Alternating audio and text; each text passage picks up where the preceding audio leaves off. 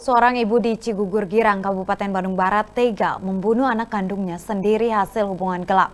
Saat ini sang ibu telah diamankan kepolisian dan ditetapkan sebagai tersangka.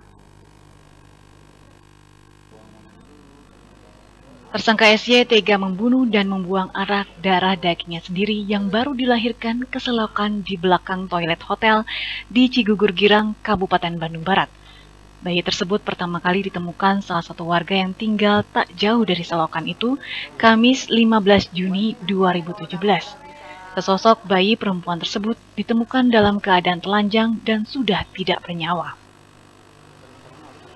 Menurut Kapolres Cimahi, AKBP Rusdi Pramana Surya Negara, berbekal keterangan saksi dan barang bukti, Polres Cimahi langsung mengamankan tersangka SY tak lama setelah laporan masuk.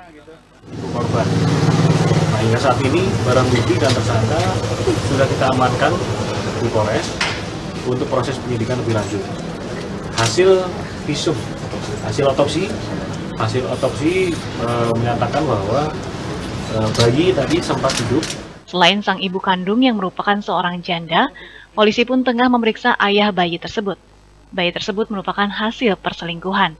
Atas perbuatannya, SY disangkakan pasal 341 KUH pidana tentang seorang ibu yang dengan sengaja menghilangkan nyawa anak baru lahir karena takut diketahui orang lain. SY terancam hukuman pidana penjara selama-lamanya 7 tahun. Algi Muhammad Gifari, Bandung TV.